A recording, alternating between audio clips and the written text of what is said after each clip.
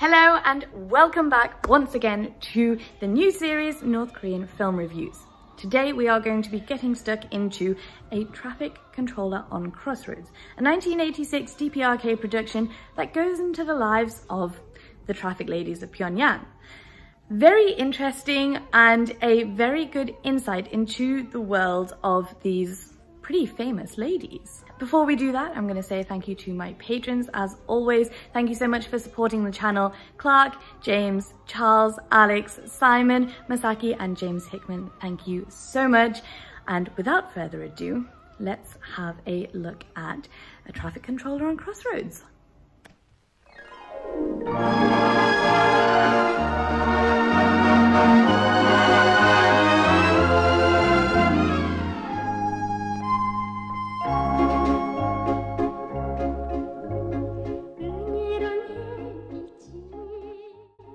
Similar with A Flower Girl, the intro starts with a view of the protagonists, this time the traffic controller's, life, while song plays in the background and adds to the narrative. During this intro, we see various sights in Pyongyang, as well as the trolleybuses and trams.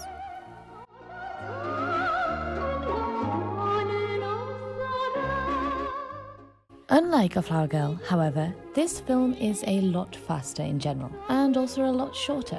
It's only an hour long, and for this reason, it's made it into my top three films to watch to start off with. It's quick, fun, informative, and you get a good look into the streets of Pyongyang, as well as the lives of traffic controllers and the lives of working women in Pyongyang.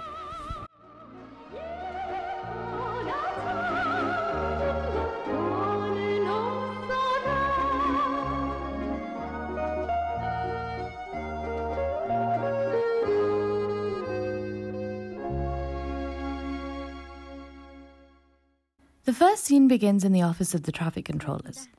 If you listen carefully, you can hear in the way they speak to each other their respective rankings. This is an important part of Korean culture, both in the north and the south. One of the traffic controllers refers to the other as Dongmu, showing us that they are actually of a higher ranking than the person they are addressing. Dongmu, by the way, actually means comrade. Traffic controllers in North Korea are famously beautiful, and already at the opening scene in this film does pride of appearance take a lead role. 아니 이거 머리가 잘 됐어요? 응, 잘 됐어. 정말 컸구나. 우리 거리가 한결도 아름다워 보이겠는데? It's here that the storyline starts to take shape. The parents of the captain traffic controller have bought a fridge, but they've no way to transport it home. They call to the traffic controller's office to borrow a truck, but she's busy and doesn't pick up. So they're left in a bit of a 당신의 목재 pickle. 공장에서 탄 차들이 있는데 이런 데 함부로 쓰면 안 돼요. 이런 데 쓰라는 차가 아니야. 우리 3륜차로 부릅시다. 주방 책임자 아주머니. 아니 경찰 아저씨. 아이고, 어딜 갔댔어? They end up running into a driver who she knows from work, and in the end, ask him to take it back to their place for them after his shift. 염려 마십시오. 이거 지금 당장 갔으면 좋겠는데 전 바삐 갈 데가 있어서 그럼 저녁 7시에 집으로 가겠습니다. 예. On their way, the driver decides that he's late and drives fast, overtaking on a place that he's not supposed to. And, you guessed it, the traffic controller catches them, blows her whistle, and they are forced to pull over. 야, 동무. 그 운전을 좀 똑똑히 하시오. At this point, only the audience is aware of the connection of the two characters. The driver who is helping deliver her mother's fridge home and is therefore late, and the traffic controller who is the daughter of the very same mother. 육류도면서에서 Things from here can only get very interesting.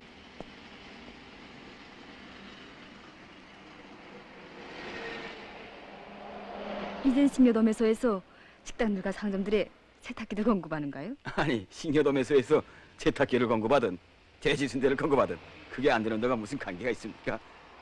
Back at the mother's house, and the family are wondering what happened to their driver and fridge, and why he's late, whilst they're preparing a meal of thanks for him. It's at this point that the traffic controller daughter comes home and hears they have a guest coming. 이제 왔구만요. 여보 빨리.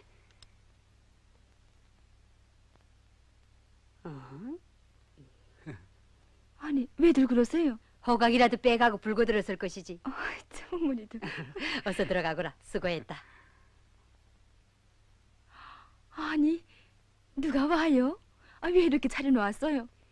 어서 옷이랑 갈아입고 저녁 먹어라.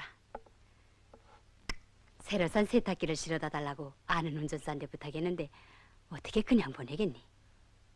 세탁기요? 어머니 그것 때문에 전화를 했댔어요? 어냐? And if you hadn't already, just like the traffic controller, you'll probably now realize where the connection between the two stories lies.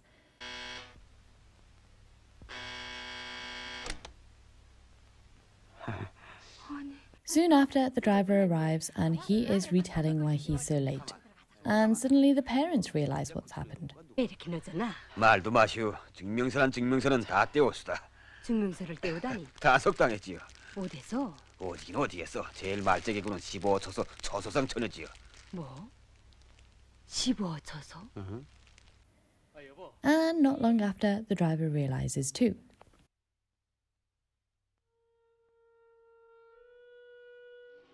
The driver passes her once again and gets into a bit of a petty mood because she doesn't smile at him as he drives past. 이젠 보기도 싫다는 거고. 공연이 세탁기만 실어가지고 He even goes and complains to the mother on his work visit 그렇게 해요. and goes so far as to delay his delivery and inform the mother in a pretty passive aggressive way, suggesting that they can't open their shop on time due to her daughter's lack of smile. 주방 책임자 아주머니. 내일부터 우리 차가 좀 늦어온다는 걸 알고 사업 조직을 하시라요. 아니, 더 늦어 들어오면 우린 언제 영업을 하나? 내일부터 우리 차는 15초소를 애돌아다니겠수다. 여 아니, 가자. 이 돌아다니다니. It's pretty clear that she just hadn't seen him, or indeed doesn't have to smile at him at all. Maybe she's annoyed or embarrassed from the previous meeting. Throughout the film, there are also a few side stories that involve marriage, rhythmic gymnastics, and themes of filial piety, which, again, provide an interesting insight into the North Korean psyche and way of life. 편안히 앉으라고요. The mother reprimands the daughter for the lack of smile, and we start to realize that this is actually the main story, and it's quite bizarre how it's turned into such a big deal. 무슨이? 네. 아니, 누굴 보고 웃으란 말이에요? 전에 우리 집에 세탁기를 실어 왔던 운전수가 널 보고 웃으면서 인사를 하는데도 휙 돌아서면서 못 본 척했다면서? 아이 참, 난 보지도 못했어요. 하루에도 수많은 차들이 지나다니는데 언제 누굴 알아본단 말이에요? 어쨌든 그 운전수는 But again, shows an insight into how much respect and indeed pride take an important role in North Korea's society. 아무리 법질서를 The traffic controller feels terrible at the trouble that she has caused and has gone to the driver's workplace to set things right. She's clearly deeply troubled by such events.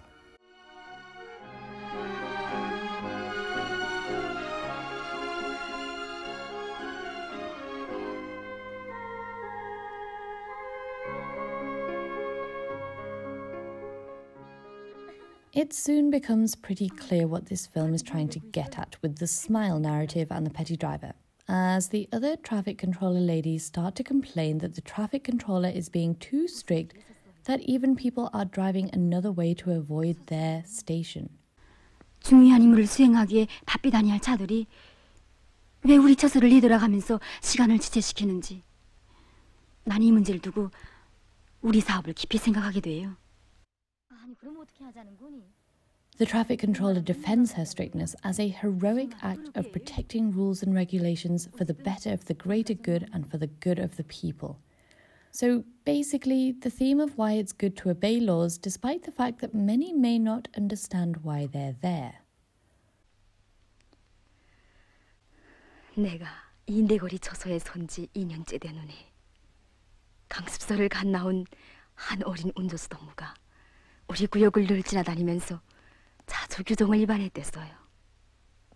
그런데 난 그때마다 아직 어린 것만큼 그럴 수 있다고 생각하면서 그를 엄격히 통제하지 않았어요. 그러다 나니 그는 엄중한 사고를 범하고 운전 자격까지 영영 박탈당하고 말았어요. 그날 저녁 그의 어머니가 저서히 찾아와서 하는 말이 오랜 운전수술이라던 남편이 뜻하지 않는 사고로 희생되자 아들이 아버지의 뒤를 잇겠다면서 운전수가 된 게 너무도 대견해. 그저 웅석발들을만 키웠더니 결국 이렇게 됐다고 하면서 오히려 자식을 잘못 키운 어머니로서 안전원들에게 사죄한다고 말을 할 때 그때 난 많은 걸 생각했어요.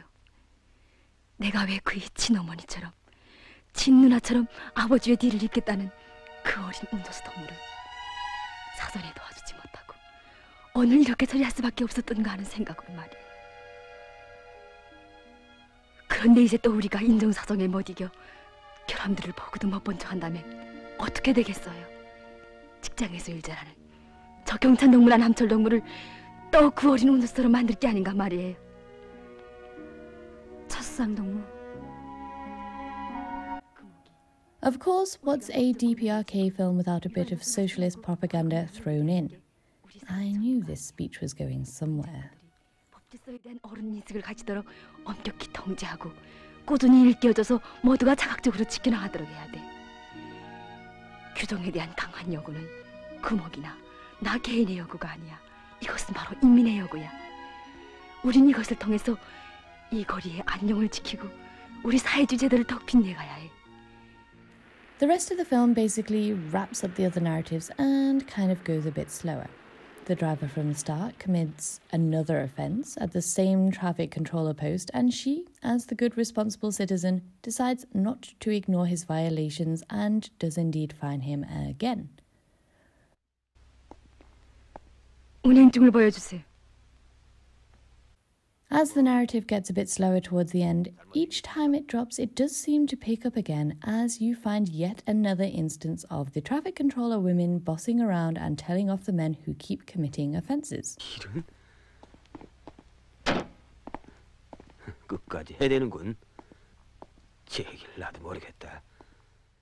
This until suddenly, towards the end, the petty man, i.e., driver, realizes the error of his ways and is instead thankful for the service the traffic controller women do to DPRK society to keep the streets safe, and all is well. And that seems to be the end.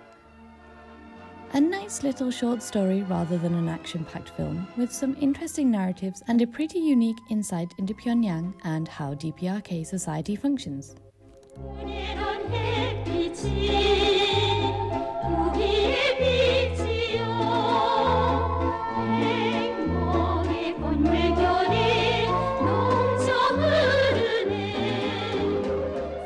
So that is the film A Traffic Controller on Crossroads. A pretty accessible film, even though it's a little bit old. I definitely recommend having a look if you're interested in watching some DPRK films. It's one of the first ones that I watched and I found it really interesting just to gain an insight into the world of the traffic controller, into the world of the lives of DPRK women and just DPRK society in Pyongyang in general. It's very interesting and I'll put a link in the video notes below where you can find this video or indeed where I found it on YouTube. Thanks for watching again and do tune in for next time where we will be discussing something that I think everyone has been waiting for, which is the film Pulgasari, or you know, otherwise known as North Korea's version of Godzilla. It's a big one. It's going to take me a while and that's why I haven't got around to it yet. Um, but just think, what happens when you take a South Korean director, put them in North Korea, and try and create a kind of Godzilla steel-eating monster? It's a pretty bizarre one. So do make sure to tune in for next time where we will be discussing Pulgasari. Please like and subscribe if you haven't already and do feel free to give me any feedback on this new DPRK film review series. I would be very interested to see what your thoughts and comments are um, and let me know if you've seen any of them so far or any others that you want me to review next. Thank you very much and I'll see you next time. Bye bye.